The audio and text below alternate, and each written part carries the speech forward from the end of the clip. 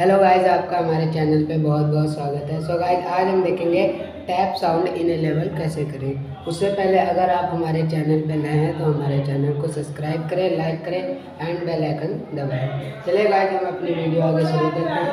सबसे पहले आप अपने फ़ोन के सेटिंग में जाएँगे। सेटिंग में जाने के बाद गाइज़ आप देख सकते हैं कई सारे यहाँ पर फ़ंक्शन शो हो रहे हैं। आपको नीचे जाना है। नीचे जाने के बाद देख सकते हैं यहाँ पर साउंड एंड विब्रेशन आपको इस पर क्लिक करना है। क्लिक करने के बाद गाइज़ आप यहाँ पे सबसे नीचे जाएँगे।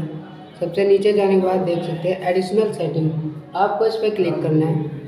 क्लिक करने के बाद गैज आप देख सकते हैं यहाँ पे टैप साउंड आपको इसे इन्हें लेवल करने के लिए साइड में आप क्लिक करेंगे।